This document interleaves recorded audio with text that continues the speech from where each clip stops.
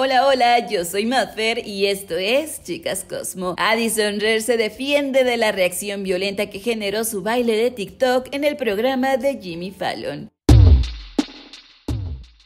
Así como lo escuchas, y es que como todos ustedes recordarán, la semana pasada, la estrella de TikTok Addison Rare se presentó en el programa The Tonight Show de Jimmy Fallon para obviamente promocionar su más reciente sencillo, pero eso no es todo, también contó un poquito acerca de su vida y aprovechó para realizar lo que la llevó al estrellato. Obviamente nos referimos a sus famosísimos bailes de TikTok. Aquí en uno de los segmentos le enseñó a Jimmy Fallon 8 bailes de TikTok que han sido de los más populares en la plataforma Y aunque obviamente le salió genial porque ella baila súper, súper bien, lo cierto es que el resultado final no fue tan bueno. Addison se volvió el blanco de toda clase de críticas y comentarios en las redes sociales, la mayoría centrándose en el hecho de que en el segmento ella tuvo la oportunidad de darle crédito a los creadores de estos bailes, que en su mayoría es gente de color, y simplemente ella no lo hizo. Algunas personas se encontraban sumamente molestas de que Addison tomara crédito de estos bailes como muchísimas otras personas blancas en TikTok y que se hicieron famosos gracias a ellos y no reconocieron el trabajo creativo detrás de los creadores. Bueno, pues ¿qué creen? Addison ayer decidió abordar toda esta polémica y acabar por completo con las críticas, o al menos esa fue su intención. Esto mientras hablaba con el portal de noticias TMC, al respecto dijo que definitivamente ella está consciente que existen muchos creadores de color con mucho talento y que obviamente su intención jamás más fue quedarse con el crédito de esos bailes, que simplemente se trató de un malentendido que hizo enojar mucho a la gente, pero que sus intenciones jamás fueron malas. También dijo, definitivamente merecen todo el crédito porque se les ocurrieron todas estas tendencias asombrosas. Creo que todos fueron acreditados en la publicación original de YouTube, pero es un poco difícil de reconocer durante el programa. Todos saben que los amo mucho y quiero decir, los apoyo mucho a todos y espero que algún día podamos reunirnos y bailar juntos.